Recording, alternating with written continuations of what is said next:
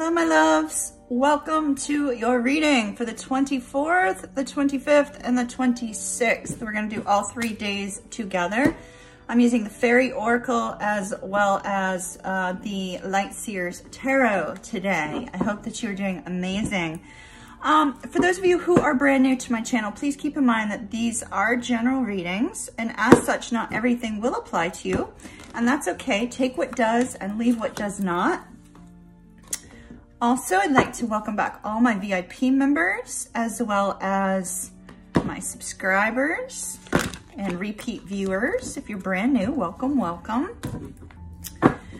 We are using a spread that I created. Um, it's five cards and we're gonna take a look at that. But a little brief announcement first. Number one, more than anything, I wish for all of you to have the most beautiful holiday if you celebrate Christmas, and even if you do not, sorry about the movement of the camera. You know, I wish for you to have a beautiful couple days and an absolutely magical time. Um, this is a magical time for the entire world right now. We had the Great Conjunction this week. We have the holiday now. We had the solstice this week. Those of you that celebrate more nature-based. Um, spiritual beliefs will probably be feeling pretty good about that energy as well. Um, and I need to make a request to you. I need to request that in the next couple days for you to please understand that I'm trying to take some time to recharge and to enjoy my family and to enjoy my time. This morning I have received several messages from multiple people about the difficulties that are occurring in your life right now. And I know that many of us have struggles, many of us have difficulties, but I cannot carry the burden of yours and my, my own at the same time. And so I'm asking you to please refrain from placing your burdens upon me today and tomorrow and um, Saturday and allow me the time to rest and recharge so that I will be stronger for you moving forward. All right, love and light to you, my dears. Let's get started. Thank you for your assistance with that. So the Oracle cards we have, we have the air element and we have reflections. So when we have the air element showing, there's going to be a focus on communication, right? Perhaps there's somebody you want to reach out to over the holiday um, it looks like if there's somebody that uh, you have a great deal of love and affection for, it looks like that's going to be a challenge to actually reach out and communicate with this person. Something may get in the way, something may, may cause a sense of struggle. This is an, in our challenge position.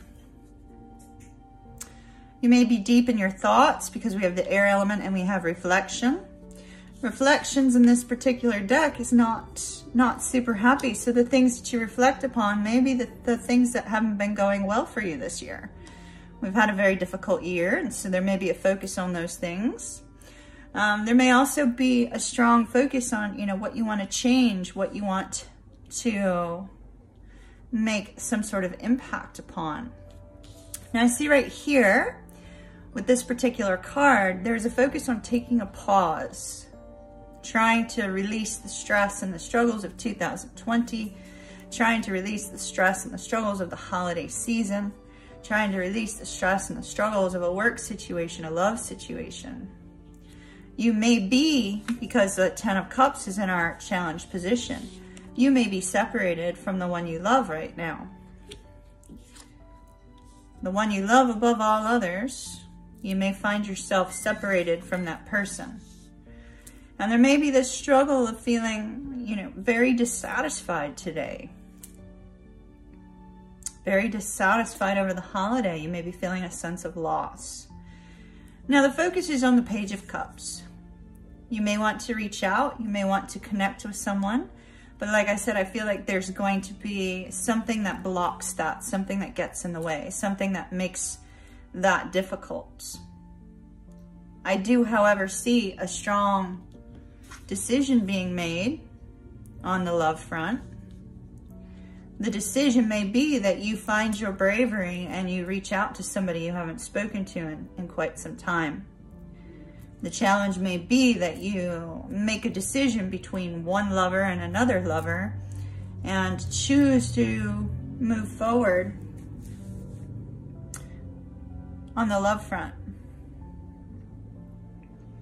The challenge may be that you allow yourself to be vulnerable with somebody that perhaps might have been difficult for you in the past. Let's see what other cards we have. Ace of Cups on the bottom, Queen of Swords on the top. So there may be a focus on communication, like I said earlier. If the Ten of Cups has to do with family, you may find yourself in a, in a situation where you're not able to spend time with your family or a family event does not go well. Some sort of difficulty here. But ultimately, Spirit is guiding you, those of you that are dealing with love situations, to make a love decision at this time of year. To make a decision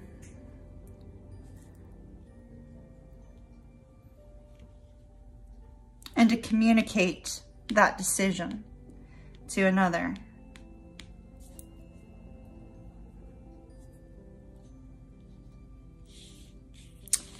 Um, signs that I see in this reading are Libra, Pisces, Cancer, Scorpio, Pisces, Gemini, Libra, I mean Leo, Libra, Virgo, Pisces, Cancer, Scorpio. So, I mean, there's a lot of water energy. And we're, when we're looking at water energy, you're looking at your emotions, you're looking at your feelings, those, those, um, that which sometimes is, is a struggle for us to communicate and to um, really get in touch with. You know, sometimes, sometimes people develop feelings rather rapidly and unexpectedly. So sometimes that can be overwhelming to some. And maybe that's what we're seeing here. Somebody's needing to be brave and express themselves. Other times we have this disconnection. You know, the, you, there's been some sort of recognition of, of who is right for you, but yet you're not able to see them over the holiday. The holiday is ultimately just a day, right? And so while you may not be able to see this person over the holiday, there's still a connection that is deep and strong and able to uh, move forward and make some sort of change, some sort of renewal of the love that the two of you have, a renewal of the connection once you're able to communicate that. So try to be strong, try to be brave. If you're the one who's being guided to reach out and make a decision, try to be brave in doing so. Um, vulnerability is attractive.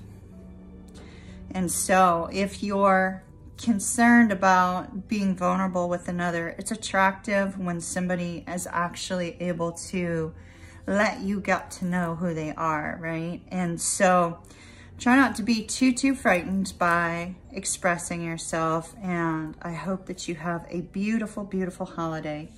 Once again, like I said, there'll be a lot of focus on thoughts, on communication, uh, reflecting on what you do and do not want with regards to a love situation and um, possibly a family situation that may have a little bit of a struggle over the next few days. So just try to roll with it, go with the flow, do the best that you possibly can. And I will see you guys again soon. Love and light to you. Be sure to hit that subscribe button. Subscribing allows me to connect to your energy for future readings. And I love to be able to connect with you energetically. So don't forget to hit that button. Also, please share these with your friends and family. You never know who might be in need of the message that you just heard. Have an absolutely beautiful day. Thumbs up.